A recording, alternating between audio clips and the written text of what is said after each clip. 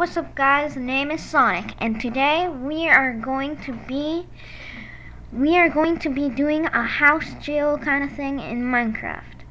I made a humongous bedrock box with a bunch of food chests and fireworks in each one of these chests. I made like a TV kind of thing. So it would have ow.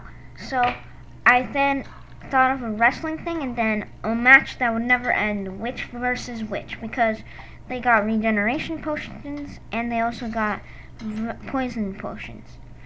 I made these chests there be fireworks and food, and then I made a hoop above me because I got an elytra on. And we are going to be trying to escape. Now, this might be a little tricky since bedrock, indestructible. And you might be thinking, well, why don't I go through here for the indestructible things? I put barriers there.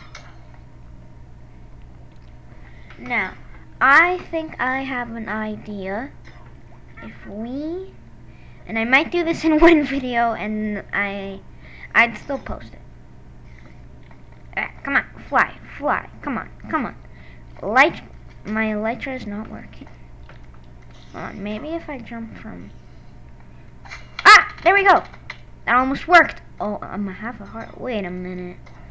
I don't think I would spawn on bedrock. Would I?